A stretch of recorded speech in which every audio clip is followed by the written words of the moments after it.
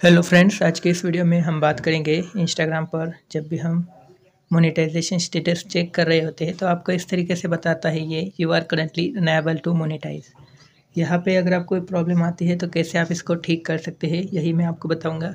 तो लाइक करके चैनल को सब्सक्राइब ज़रूर कीजिए। क्रिएटर्स में आते हैं मोनेटाइजेशन स्टेटस पर मैं क्लिक करूँगा। तो you are currently unable to monetize लिखा है। मतलब आप यहाँ से अपना मोनेटाइज नहीं कर सकते इंस्टाग्राम का, ठीक है? अब यहाँ पर रीज़न बहुत सारे होते हैं। मेरे में जो रीज़न आता है या फिर आपके में भी ये ज़्यादातर केसेस में आएगा। जब भी आपका नया अकाउंट होता है तो ये प्रॉब्लम आपको ज़्यादातर देखने को मिलती है।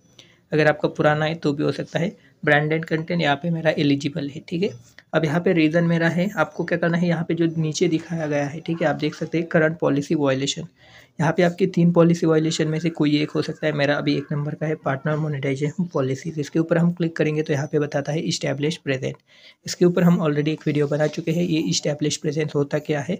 और इसको आप ठीक कैसे करोगे? सीधे ऐसा मैं आपको अगर बता दूँ तो आपको क्या करना है कि अपना इंस्टाग्राम पर जो है आपको एक्टिवली बहुत सारी पोस्ट करते रहना है रील्स हो, आपकी खुद की फ़ोटोज़ वीडियोज़ जो भी है आपको शेयर करते रहना है इंस्टाग्राम पर बहुत ज़्यादा एक्टिव रहना है, ये ऑटोमेटिकली चार से पाँच दिन या फिर एक हफ़्ते में हट जाएगा।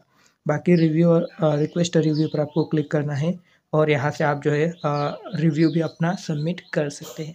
बाकी जैसे आपका यहाँ पे ये जो इस्टेब्लिश प्रेजेंट यानी कि आपका इस्टेब्लिश हो जाता है, आपका अकाउंट का हिस्ट्री क्रिएट हो जाता है, यहाँ पे ये प्रॉब्लम आपकी हट जाएगी। बाकी यहाँ पे कम्युनिटी गाइडलाइंस या अदर कोई इशू है तो उसको आपको ठीक करना है एंड उसके बाद आपकी जो प्रॉब्लम है, वो यहाँ पे ठीक हो जाएगी। सात से पंद्रह दिन लेता है यहाँ पे, अगर आपका इस्टेब्लिश प्रेजेंट नहीं है तो।